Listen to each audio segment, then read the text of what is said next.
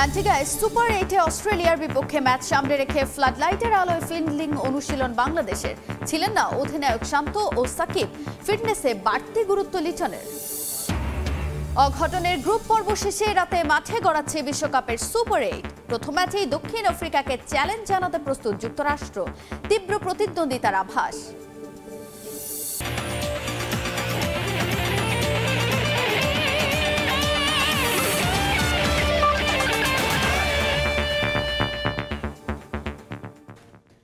বিশ্বের নানা প্রান্তে খেলাধুলার খবর নিয়ে আমাদের নিয়মিত আয়োজন খেলার সময়। আর এই আয়োজনে আপনাদের সঙ্গে আছি আমি তাজিন খন্দকার।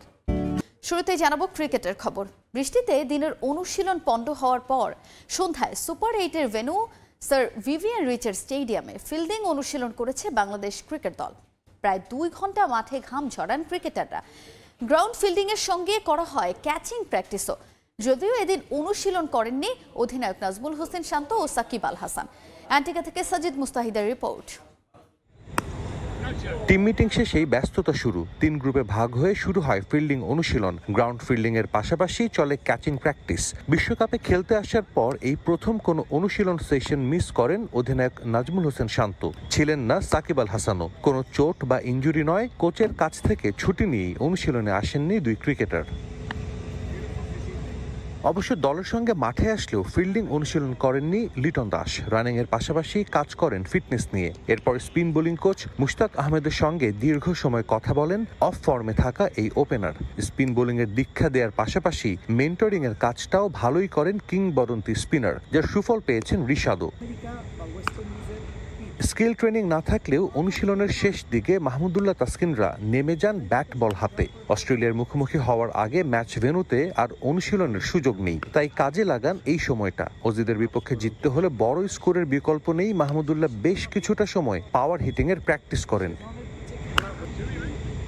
যুক্তরাষ্ট্র ও ক্যারিবীয় দ্বীপপুঞ্জে বিশ্বকাপ খেলতে এসে বাংলাদেশ দল আগে যা করেনি, অ্যান্টিগায় পা রেখে সেটাই করল। ফ্লাড লাইটের আলোতে ফিল্ডিং অনুশীলন।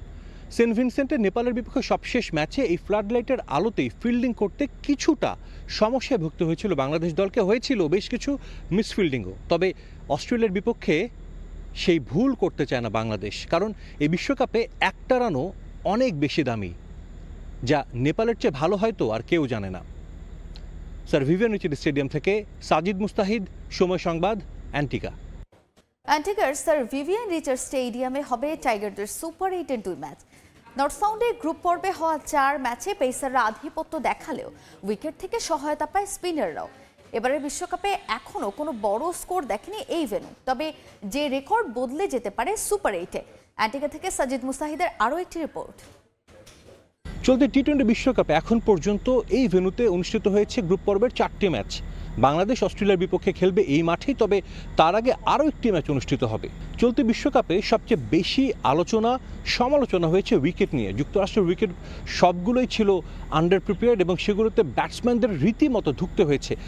ওয়েস্ট ইন্ডিজের বা ক্যারিবীয় দ্বীপপুঞ্জের কিছু কিছু মাঠে আমরা দেখেছি রান হয়েছে, তবে বাংলাদেশ যে গ্রুপ পর্বে শেষ দুটো ম্যাচ খেলেছিল সেন্ট লুসিয়ায়, সেখানে কিন্তু ব্যাটসম্যানরা খুব একটা সুবিধা করতে পারেনি। তবে এই মাঠে যে চারটে ম্যাচ হয়েছে ওয়ার্ল্ড কাপের সেই ম্যাচের যে ইতিহাস বা সেই ম্যাচের পরিসংখ্যান একটু দেখে নেবে এবং সেই পরিসংখ্যান কিন্তু কথা বলছে না ব্যাটসম্যানদের পক্ষে। ইংল্যান্ড অস্ট্রেলিয়া এখানে ম্যাচ খেলেছে এবং তারা তাদের প্রতিপক্ষ ছিল কিন্তু অ্যাসোসিয়েট নেশন আমরা বলতে পারি অসম প্রতিপক্ষের লড়াই এবং যার কারণে সে ম্যাচগুলো খুবই একপেশে হয়েছিল। ইংল্যান্ড অস্ট্রেলিয়া আধিপত্য বিস্তার করে জয় তুলে নেয়। তবে দুই অ্যাসোসিয়েট নেশনও কিন্তু এখানে মুখোমুখি হয়েছিল, ওমান এবং স্কটল্যান্ড তবে বাংলাদেশ যে ম্যাচটা খেলবে এখানে, তার আগে সাউথ আফ্রিকা এবং ইউএসের একটা ম্যাচ রয়েছে। সেই ম্যাচ থেকে বাংলাদেশ দল কিছুটা হলেও আজ করতে পারে যে উইকেট কেমন আচরণ করতে পারে। এই ভিভিয়ানচির স্টেডিয়ামে ওয়ার্ল্ড কাপের এখন পর্যন্ত যে চারটে ম্যাচ অনুষ্ঠিত হয়েছে, এই চার ম্যাচে মোট একচল্লিশ উইকেটের পতন হয়েছিল, যার আটত্রিশটা তুলনায় বোলাররা। এবং এই আটত্রিশ উইকেটের মধ্যে ছাব্বিশটাই কিন্তু পেয়েছেন পেসাররা, যা থেকে বাংলাদেশের সমর্থক টিম ম্যানেজমেন্ট একটু আশাবাদী কিন্তু হতেই পারেন। বিশ্বকাপে এখন পর্যন্ত বোলাররাই কিন্তু বাংলাদেশ দলকে টেনে নিচ্ছেন। ব্যাটসম্যানরা প্রায় প্রতিটি ম্যাচে ব্যর্থ হয়েছেন, কিন্তু বোলাররা তাদের কাজটা ঠিকঠাকভাবে পালন করে যাচ্ছেন। আর অস্ট্রেলিয়ার বিপক্ষেও যদি সেই একই ধারাটা অব্যাহত থাকে, এই মাঠে তাসকিন, তানজিম সাকিব বা শরীফুল যারাই খেলবেন, তারা যদি তাদের কাজটা ঠিকঠাক মতো করতে পারে, নিশ্চিতভাবেই আমরা বলতে পারি বাংলাদেশের সুপার এইটটাও শুরু হতে পারে দারুণভাবে। স্যার, ভিভিয়ান রিচার্ড স্টেডিয়াম থেকে সাজিদ মুস্তাহিদ, সময় সংবাদ, অ্যান্টিগা। দেখছেন খেলার সময়, সঙ্গেই থাকুন। এ পর্যায়ে খেলার সময়ের শীর্ষ সংবাদগুলো জানিয়ে দিচ্ছি আরেকবার। অ্যান্টিগায় সুপার এইটে অস্ট্রেলিয়ার বিপক্ষে ম্যাচে সামনে রেখে ফ্লাডলাইটের আলোয় ফিল্ডিং অনুশীলন বাংলাদেশের। ছিলেন না অধিনায়ক শান্ত সাকিব, ফিটনেসে বাড়তি গুরুত্ব লিটনের। অঘটনের গ্রুপ পর্ব শেষে রাতে মাঠে গড়াচ্ছে বিশ্বকাপের সুপার এইট। প্রথম ম্যাচেই দক্ষিণ আফ্রিকাকে চ্যালেঞ্জ জানাতে প্রস্তুত যুক্তরাষ্ট্র। তীব্র প্রতিদ্বন্দ্বিতার আভাস। এই ছিল খেলার সময়ের এখনকার আয়োজনে এখন চলে যাচ্ছে বিশ্বকাপের বিশেষ আয়োজন টাইম আউটে।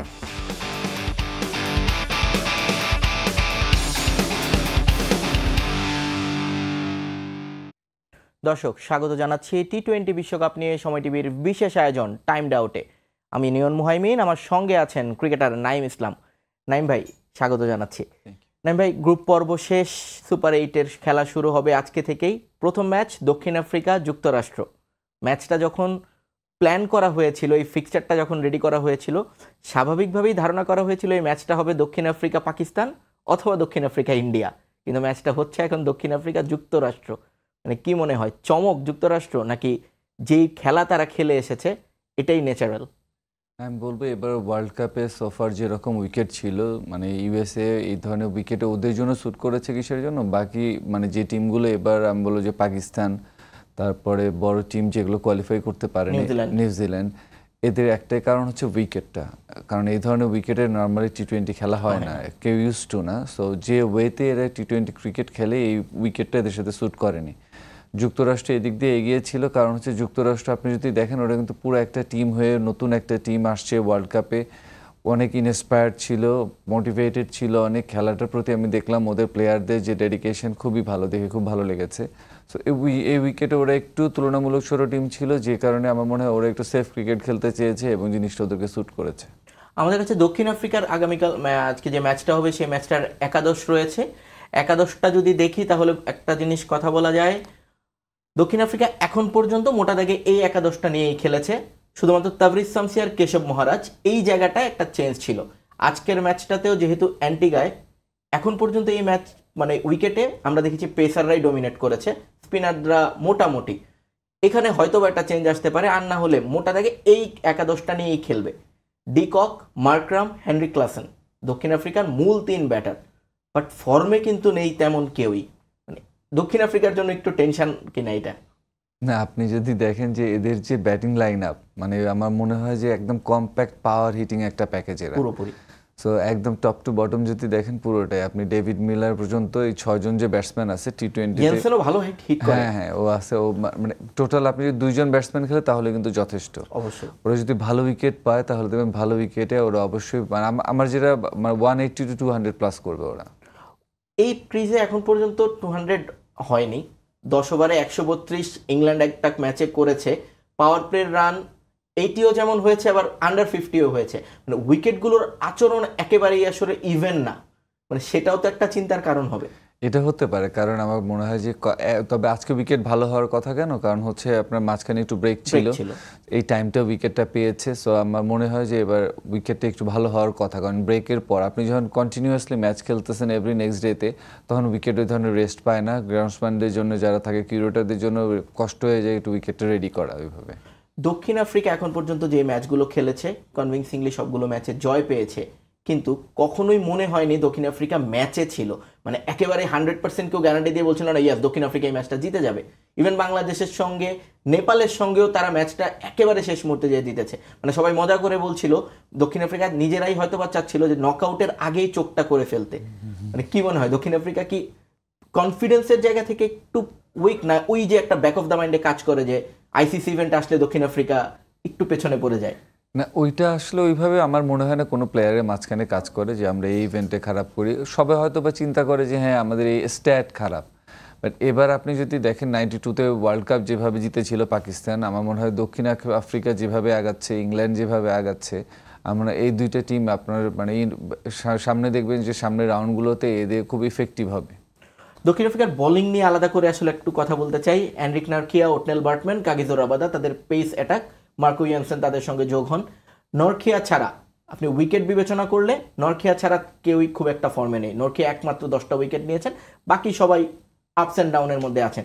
কাগিজুর রাবাদা এখনও তার পুরোটা দিতে পারেননি। উইকেটের কারণে মানে কন্ডিশনের কারণে মনে হচ্ছে এটা, নাকি আইপিএল টায়ার্ডনেস এই সব কিছু মিলিয়ে দক্ষিণ আফ্রিকার বোলিং লাইন আপও সেভাবে পারফর্ম করতে পারেনি এখনও। উইকেট যদি আপনি বলেন, তাহলে তো আমার মনে হয় যে পেস বলারদের জন্য এটা হচ্ছে স্বর্গরাজ্য। কারণ আপনি যেখানে পেস আনিবেন বাউন্স আনিবেন, ওখানে আপনার বোলিং করা উইকেট নিয়ে অনেক ইজি মানে আপনি বলটা শুধু ভালো জায়গায় করলেই হবে। আমার মানে ওরা হয়তো বা অনেক দিন ধরে খেলার মধ্যে ছিল, মানুষের একটু তো ফ্যাটিক চলে আসে হয়তো বা একটু টায়ার্ড থাকতে পারে। কিন্তু আমার বিশ্বাস যে ওরা যে টাইপের প্লেয়ার এতদিন ধরে খেলছে ন্যাশনাল টিমে এতদিন ধরে মানে ইন্টারন্যাশনাল লেভেলে সার্ভ করছে। সো খুব তাড়াতাড়ি হয়তো বা ভালো কামব্যাক করবে। যুক্তরাষ্ট্রের একাদশটা দেখব। যুক্তরাষ্ট্রের একাদশে মূল যেই ক্রিকেটাররা আছেন অ্যারন জনস তাদের captain Monank Patel Steven Taylor Andries Gous এই তাদের ব্যাটিং লাইন আপ কোরি অ্যান্ডারসনকে যদিও অনেক হাইপ তোলা হয়েছিল বাট এখন পর্যন্ত আমরা এমন কোনো আহামরি পারফরমেন্স দেখিনি যে অ্যান্ডারসনকে ভয় পেতে হবে। মানে কি মনে হয়, যুক্তরাষ্ট্র সাউথ আফ্রিকার ওই বোলিং অ্যাটাকের এগেনস্টে যুক্তরাষ্ট্রের ব্যাটিং হ্যাঁ হারমিত সিং আছেন শেষ দিকে পাওয়ার হিটিংয়ের জন্য। ওভারঅল আমার কাছে যেটা লাগে এই ম্যাচটা ওয়ান সাইডেড ম্যাচ হওয়ার কথা আর কি সোফার কারণ আপনার সাউথ আফ্রিকা যে ধরনের বোলিং অ্যাটাক এই ধরনের বোলিং যথেষ্ট ভালো বলিং অ্যাটাক আপনি যদি পেসারদের দেখেন তারপর ওদের যদি স্পিনার দেখেন সব কিছু মিলে ওভারঅল খুবই ভালো একটা বোলিং অ্যাটাক কিন্তু যুক্তরাষ্ট্র অ্যাজ এ টিম হিসেবে যদি দেখেন যে কারও উপরে ডিপেন্ডেন্ট না এরা। এরা সবাই কোন- কোনো না দিন কোন মানে এভরি সিঙ্গেল আদার ডে কেউ না কেউ খেলছে। সো ভালো আমার ওয়ান সাইডেড ম্যাচ হওয়ার কথা কিন্তু আমি এক্সপেক্ট করব একটা ভালো ম্যাচ হোক। ওয়ান সাইডেড ম্যাচ হবে এতটা মানে নিশ্চিত কি করে? পাকিস্তানের বোলিং অ্যাটাকও দুর্দান্ত। মোহাম্মদ আমির ছিলেন হারিস রৌফ ছিলেন শাহিন শাহ আফ্রিদি ছিলেন নাসিম শাহ ছিলেন। সেই বোলিং অ্যাটাককে মোটামুটি দুমড়ে মুছছে তারা পাকিস্তানকে উড়িয়ে দিয়েছিল। আপনি বোলিং অ্যাটাক শুধু আপনার নাম যদি খেয়াল করেন তাহলে তো হবে না। আপনার দেখতে হবে যে এই বলারটা এই ওয়ার্ল্ড কাপে কি ধরনের। কোন ফর্মে আছে। আপনি ইন্ডিয়ার সাথে যদি পাকিস্তানের ফার্স্টের কয়েকটা ওভার দেখেন, হয়তো বিরাট কোহলি আউট হলে স্কোয়ার কাটার বাজে বলে আউট হয়েছে। এসে বোলিং করছে হাফ ভলি বল পায়ে বল বাজে বল সো আপনি একটা বড় প্লেয়ার হতে পারেন, বড় নাম থাকতে পারে, কিন্তু পার্টিকুলার ডেতে আপনি কি ডেলিভার করতেছেন এটাই মিন করে। যুক্তরাষ্ট্রের জন্য মনে হয় এটাই প্লাস পয়েন্ট যে তাদের কোনো বড় নাম নেই, তারা সবাই নিজেরা নিজেদের মতো করে পারফর্ম করছে। ওই যে জাতীয়তাবাদের ব্যাপারটাও মনে হয় এত বেশি নেই যে ফ্ল্যাগের জন্য খেলতে হবে। কারণ ওরা সবাই এক একজন এক এক জায়গায় জন্ম নেয়া। অনেকে মজা করে বলে যে মার্সেনারি ক্রিকেটার। সেই জায়গাটা থেকে আলী খান এবং সৌরভ নেত্রাবালকার দুই পেসার যুক্তরাষ্ট্রের। এখন পর্যন্ত এই ওয়ার্ল্ড কাপের ফাইনেস্ট বোলারদের দুজন। দক্ষিণ আফ্রিকার ব্যাটসম্যানদের জন্য কিছুটা চিন্তার কারণ কিনা। যদি উইকেট ভালো থাকে, তাহলে উইকেট ভালো থাকলে আমার মনে হয় না ওদের কোনো প্রবলেম হবে। কারণ ওরা হচ্ছে ওয়ার্ল্ডের টপ ক্লাব যে লিগগুলো ফ্র্যাঞ্চাইজি লিগ হচ্ছে, এইসব লিগ ডমিনেট করতেছে ইন্টারন্যাশনাল ক্রিকেট ডমিনেট করছে। তো ভালো বল করছে আলী খান আর সৌরভ, কিন্তু আমি বলব যে যারা, যাদের এগেনস্টে বল করতে হবে, ওরা যদি ভালো উইকেট পায়, তাহলে ওদের বলিং করা খুব কষ্ট হয়ে যাবে। নাইম ভাই, আপনার কথায় বোঝা যাচ্ছে দক্ষিণ আফ্রিকাকে আপনি একেবারে নিরঙ্কুশভাবে বলছেন ফেভারিট যদি দক্ষিণ আফ্রিকা এবং যুক্তরাষ্ট্রের ম্যাচটাকে পার্সেন্টেজের হিসাবে বলি আপনি কত পার্সেন্ট এগিয়ে রাখবেন দক্ষিণ আফ্রিকাকে? আমি সেভেন্টি থার্টি বলব। সেভেন্টি থার্টি এই ম্যাচটার পর ভোরবেলা আগামীকাল আরও একটা ম্যাচ আছে ইংল্যান্ড এবং ওয়েস্ট ইন্ডিজ। এবং দুর্দান্ত একটা ম্যাচ হওয়ার অপেক্ষায় কারণ ওয়েস্ট ইন্ডিজ এই ওয়ার্ল্ড কাপে এখন পর্যন্ত কোনো ম্যাচ হারেনি। ঘরের মাঠে খেলবে এমন একটা ইংল্যান্ডের বিপক্ষে যে ইংল্যান্ড ওয়ার্ল্ড কাপ শুরুর আগে মোস্ট ফেভারিটদের একজন ছিল তো সুপার এইটে উঠেছে টেনে টুনে ওয়েস্ট ইন্ডিজ খুবই ভালো ফর্মে আছে। আমি লাস্ট টাইম আফগানিস্তানের সাথে আপনি দেখবেন যে ম্যাচ খেলেছে দুইশো চোদ্দ মানে ওদের অবিশ্বাস্য ব্যাটিং করেছে নিকোলাস পোরান। তো যে ধরনের ফর্মে ওয়েস্ট ইন্ডিজ টিম আছে আমার অবশ্যই ওরা মোরালি ইংল্যান্ডের চেয়ে এগিয়ে থাকবে বুস্ট আপ থাকবে। ইংল্যান্ডের জন্য হচ্ছে ওরা একটু মোরালি ডাউন থাকার কথা কারণ যেভাবে উঠেছে কিন্তু একটা জিনিস ওদের জন্য প্লাস পয়েন্ট সেটা হচ্ছে এইভাবে যখন একটা টিম উঠে ওরা কিন্তু অলমোস্ট আর হারানোর কিছু নাই ওদের। সো এই জিনিসটা ওদের একটা মানে আছে আপনাকে বুস্ট করতে করার মতো আছে যে অলমোস্ট আমরা আউট হয়ে গিয়েছিলাম, সেখান থেকে আমরা এখন সুপার এইটে সো আমাদের তো হারানোর কিছু নাই। এখন আমরা আসছি এখানে, আমরা আসছি, ভালো যা কিছু করব, সবই ভালো আমাদের জন্য। উইন্ডিজের এই টিমটায় প্রচণ্ড গতির কোনো পেসার নেই। এবং দুর্দান্ত যে খুব স্পিনার আছেন গোদাকেশমতি ওকে মানে খুব ভালো বাহাতি স্পিনার কিন্তু এমন নয় যে ওয়ার্ল্ডের টপ ক্লাস স্পিনারদের তালিকায় তাকে রাখা যাবে।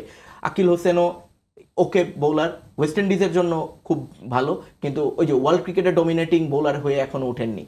মানে এই ব্যাপারটাও কি ওয়েস্ট ইন্ডিজের জন্য একটু প্লাস পয়েন্ট মানে তারা সবাই নিজেরা নিজেদের সর্বোচ্চটা দিচ্ছে একটা মানে নিজেদের প্রাইডের জন্য। ওয়েস্ট ইন্ডিজ টিমটাকে আপনি দেখবেন, ওরা যখন ওয়ার্ল্ড কাপে আসে ওয়ার্ল্ড কাপ বা যখন অন্য কোনো সিরিজ খেলে সিরিজের সময় একরকম দেখবেন, যখন ওয়ার্ল্ড কাপ খেলতে আসে, তখন অন্যরকম এক টিম দেখবেন। আমি জানি না ওয়ার্ল্ড কাপে আসলে ওদের কী হয়, ওদের এত কম্প্যাক্ট লাগে মানে আসেন সবাই মনে হচ্ছে ওরা কিছু অ্যাচিভ করার জন্য আসছে। কিন্তু যখন কোনো হোম সিরিজ খেলে বা অ্যাওয়ে সিরিজ খেলে, তখন দেখলে মনে হয় ছাড়া ছাড়া যে যার মতো আসতেছে, খেলতেছে এরকম তো ওদের হচ্ছে এখন খুব কম্প্যাক্ট একটা টিম আর এতগুলো ম্যাচ যখন আপনি জিতবেন, তিন চারটা ম্যাচ জেতার পর আপনার কিন্তু একটা টিম কম্বাইন্ডনেস চলে আসে। তো এই দিক দিয়ে ওয়েস্ট ইন্ডিজ টিম এখন যথেষ্ট ভালো ফর্মে আছে। নাইম ভাই, এবার একটু বাংলাদেশ নিয়ে কথা বলতে চাই। বাংলাদেশ সেন্ট ভিনসেন্ট থেকে এন্টিগায় চলে এসেছে। আজ যেই ম্যাচ মাঠটায় আসলে দক্ষিণ আফ্রিকা এবং যুক্তরাষ্ট্র খেলবে, আমরাও শুক্রবার ভোরে এই একই মাঠে খেলব। হয়তো বা উইকেটটা একটু ভিন্ন থাকবে, কিন্তু মোটা দাগে আচরণ তো আসলে একই রকম আমরা দেখতে পাচ্ছি অন অ্যান্ড অফে এরকমই। বাংলাদেশের জন্য এই মাঠ, এই ধরনের কন্ডিশন কতটা সুটেবল হবে? একটু স্পিনিং কন্ডিশন স্পিনিং হেল্প আছে বা স্পিন বলারদের জন্য সো আমাদের জন্য যদি স্পিনে হেল্প থাকে, তাহলে সবসময় ভালো। কারণ আমরা স্পিন খেলি ভালো, আমাদের স্পিনাররা ভালো। সব মিলে আমার মনে হয় যে এই মাঠে বাংলাদেশ একটু অ্যাডভান্টেজ অবশ্যই পাবে। আমাদের স্পিনারদেরকে বা আমরা ব্যবহার করতে পারছি কই? আমাদের পেসাররা দুর্দান্ত ফর্মে আছেন যে কারণে আমরা একাদশে পরিবর্তন আনতে পারছি না। সাকিব খুব একটা ভালো নাই মানে আগের সেই সাকিব আল হাসানকে ফর্মে এখন আমরা পাচ্ছি না রিশাদ লেগ স্পিন মানে আমরা যে কারণে তানভীরকে ক্যারি করলাম যে ওয়েস্ট ইন্ডিজের পিছে। কিন্তু আমাদের পেসারদের অতিরিক্ত ভালো পারফরমেন্সের কারণে তো আমরা স্পিনার ইউজই করতে পারছি না। না আলহামদুলিল্লাহ ওরা খুব ভালো করছে মাশাল্লাহ সো আমি বলব যে আপনার এই স্পিনাররা হচ্ছে আগে বাংলাদেশে মানে বোলিং ডিপার্টমেন্ট ডমিনেট করতো স্পিনাররা, এটা কিন্তু খুব ভালো সাইন যে এখন পেস বলাররা এখন সব কিছু মানে বোলিং ডিপার্টমেন্টে ডমিনেট করছে।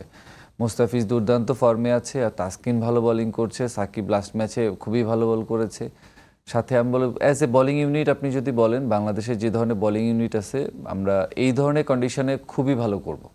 অস্ট্রেলিয়ার যেই ব্যাটিং লাইন আপ সেটার জন্য অনেকেই বলছেন একাদশে একটা পরিবর্তন দরকার। শরীফুলের ইনক্লুশনটা প্রয়োজন। শরীফুল এখন যেহেতু বল লেফট সাইড থেকে বলটাকে ভেতরে ঢুকাতে পারে, ওই ডেলিভারিটা সে এখন আয়ত্ত করতে পেরেছে। প্রয়োজন কারণ ট্রেভিস হেড হেড আছেন, উপরের দিকে যারা খেলছেন মিচেল মার্চ খেলছেন, সবার জন্যই একটু সমস্যা ক্রিয়েট করতে পারেন শরীফুল। আপনাকে যদি বলি, এখন আপনার পেস অ্যাটাক যেভাবে পারফর্ম করছেন আপনার স্পিনারদের মধ্যে সাকিব আল হাসান অলরাউন্ডার বাদ দিলে রিশাদ হোসেন যে পারফর্ম করছেন এই বোলিং অ্যাটাকটাকে কি পরিবর্তনের কোনো জায়গা আছে? এটা আপনি যদি দেখেন যে ওদের ডেভিড ওয়ার্নার আর হচ্ছে ট্রাভেসের ট্রাভিস হেড দুজনই লেফট দুজনেই লেফটি শুরুর দিকে। সো ওরা কিন্তু একটা ম্যাচে দেখবেন ছয় ওভারে সত্তর না আশি রানের মতো 80 রান করেছিল। করেছিল। এইট রান করেছিল। এই মাঠে। এই মাঠে। তো এটা একটা বিষয় যে আপনার যদি most of the batsman lefty হয়, সেখানে আপনার কিন্তু আপনাদের সব হচ্ছে লেফট একটা আমাদের লেফট আর্ম স্পিনার হচ্ছে আর একটা হচ্ছে লেগ স্পিনার তো আমাদের অপশন না ওই দিক দিয়ে আবার সুবিধা হচ্ছে কি, আমাদের মাহমুদুল্লাহ ওখানে আছে, ও যদি মানে একটু যথেষ্ট ভালো বোলিং করছে ও। তো আমরা ওকে ইউজ করতে পারব। পেস বোলারদের ক্ষেত্রে মানে মোস্তাফিজকে আমরা শুরুতে আনছি না। মোস্তাফিজ মূলত আমাদের পাওয়ার প্লে লাস্ট ওভার এবং পরবর্তীতে ডেথ ওভারগুলোতে স্পেশালিস্ট হিসেবেই তাকে রাখা হচ্ছে। শুরুতে যেহেতু দুই পাশেই লেফটি লেফটি থাকছেন, পরবর্তীতেও বেশ কয়েকজন লেফটি আছেন মানে শরীফুলের ইনক্লুশনটা তো প্রয়োজন, এখন দলের প্রয়োজন, কিন্তু এই মুহূর্তে আবার উইনিং কম্বিনেশন ভাঙা নিয়ে একটা কথা আসবে। কি মনে হয়? উইনিং কম্বিনেশন ভাঙ্গা নিয়ে বা কোনো কিছু নিয়ে এইসব আমার মনে চিন্তা করার কোনো মানে বিষয়ই না এটা। কারণ আপনার অপোনেন্ট তো ডিফারেন্ট এই ডিফারেন্ট অপোনেন্টের এগেনস্টে আপনার কোন প্লেয়ারগুলো সুইটেবল হবে আপনি অবশ্যই তাদেরকে পিক করবেন। ব্যাটিং নিয়ে কি বলবেন? মানে পুরো ওয়ার্ল্ড কাপ ওয়ার্ল্ড কাপের আগে থেকে একেবারে জিম্বাবুয়ে সফর থেকে যদি ধরি মাথা ব্যথার মূল কারণ একেবারে স্পেসিফিক করে যদি বলি টপ অর্ডারের তিনজন। ওপেনিংয়ে তানজিদ তামিম মনে নফে হয়তো বা রান পাচ্ছেন কিন্তু সেটাও খুব একটা কাজে আসছে না। লিটন এবং শান্ত। হ্যাঁ, আর রান করছে না ওরা বেশ কিছুদিন হচ্ছে রান করছে না ওটা ওরাও জানে আমরা পুরো বাংলাদেশি জানি আমরা যে ওরা রান করছে না ওরাও চাচ্ছে রান করতে। চেষ্টা তো অবশ্যই করতেছে রান করার জন্য হয়তো বা হচ্ছে না জিনিসটা। বাট আমার মনে হয় যে এই এই তিনজন রান না করেও কিন্তু আমরা যথেষ্ট একটা ভালো অবস্থানে আছি। সো এই তিনজন যদি তিনজন তো একটা টুর্নামেন্টে দেখেন সব প্লেয়ার পারফর্ম করবে না। অবশ্যই। আপনি যদি সাতটা ব্যাটসম্যান থাকে সাতটা ব্যাটসম্যানের মধ্যে কখনোই সাতটা প্লেয়ার পারফর্ম করবে না। এখানে দুইজন তিনজন থাকবে যারা একটু খারাপ ফর্মে যাবে। বাদ বাকি যারা আছে গুড সাইন এটা হচ্ছে বাকি যারা খেলছে তারা কিন্তু ক্যারি করে যাচ্ছে। মানে একজনের রেসপন্সিবিলিটি একজন ফেল করছে এই জন্য এমন না যে পুরো টিমই ফেল করছে। কেউ না কেউ রেসপন্সিবিলিটি নিচ্ছে। যেদিন ওদের সময় আসবে দেখবেন যে ওরা আবার পুরোটা কভার করে ফেলবে। বোলিং নিয়ে কথা বলছিলাম আবার একটা কথা হঠাৎ মনে পড়ল। জাকের আলী অনেককে ড্রপ দিয়ে শেখ মেহেদিকে কি ট্রাই করা উচিত না অস্ট্রেলিয়ার সঙ্গে? একটা off spinning allrounder Zakir Ali আমার মনে হয় জাকির আলী থাকলে হয় কি আপনার ব্যাটিং ডেপথ একটু বাড়ে। তো যে ধরনের উইকেটে আমরা খেলব আপনি তো আগের থেকে প্রেডিকশন করা যাচ্ছে না যে উইকেট এমন হবে বা এমন হবে এমন হবে। এরকম যদি হতো তাহলে আরেকটা ডিফারেন্ট ইস্যু ছিল। যেহেতু প্রেডিক্ট করা যাচ্ছে না আপনার ব্যাটিং ডেপ যদি একটু বেশি হয় আর আপনার রিয়াদ ওখানে আছে অফিস স্পিন করার জন্য। সো আমার মনে হয় যে জাকির আলীকে যদি টিমে রাখেন আপনি রিয়াদকেও বোলিং ইউজ করতে পারছেন ব্যাটিং ডেপ তো বাড়বে। নাইম ভাই, আমার অনুষ্ঠান একেবারে শেষ দিকে। আমি শেষ প্রশ্নটা করব একজন ক্রিকেটারকে নিয়ে। সাকিব আল হাসান, ফর্ম নিয়ে অনেক কথা হয়েছে। একটা ম্যাচে তিনি ফেরার একটা ঝলকও দেখিয়েছেন। Nepal match on and off ছিল। সাকিবকে নিয়ে কি বলবেন? ব্যাটিং, বোলিং দু সাইডে সাকিব আসলে এমন একজন প্লেয়ার বাংলাদেশের জন্য এত কিছু করেছে ও বাংলাদেশের মানুষের এক্সপেকটেশন ওর প্রতি এত হাই সাকিবের যেগুলো মানে যে পারফর্ম এখন করছে, আপনি নর্মাল কোনো প্লেয়ার যদি এই ধরনের একটা man of the match world world কাপে ব্যাটিংয়ে যদি একটা ফিফটি করতো বলিংয়ে যদি একটু এরকম কম রান দিত আমরা অনেক খুশি হয়ে যেতাম। কিন্তু সাকিব জন্য আমরা খুশি না। So ওর জানে যে মানুষের এক্সপেকটেশন ওর প্রতি কত হাই সো অবশ্যই এই ধরনের পারফরমেন্স ভাই অনেক ধন্যবাদ। আমরা আশা করব আজকের ম্যাচটা পরবর্তী ম্যাচটা সবগুলোই বেশ টান টান উত্তেজনার ম্যাচ হবে। মানুষ যাতে টি টোয়েন্টির মজাটা আসলে পায় এবং বাংলাদেশও ইনশাল্লাহ ভালো করবে। ধন্যবাদ আপনাকে। দর্শক দেখছিলেন বিশেষ টাইম আউট আগামীকাল আবারও একই সময় দেখা হচ্ছে। সে পর্যন্ত সঙ্গে থাকুন সময়